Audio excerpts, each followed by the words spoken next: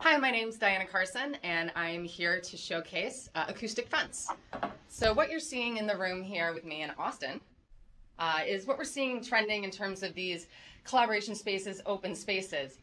But what can we do about the sound? So to show acoustic fence above my head here in this room, I'm using two Polycom ceiling microphones and uh, one of our tabletop mics to create a virtual fence in the environment here. So basically anything to the left of the ceiling microphones is within the acoustic fence, and anything to the right is outside.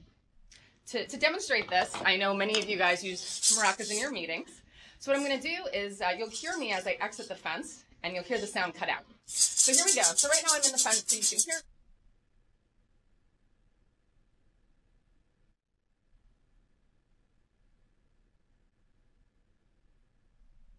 I am back inside the fence. So this will be the dominant sound you hear within your meeting.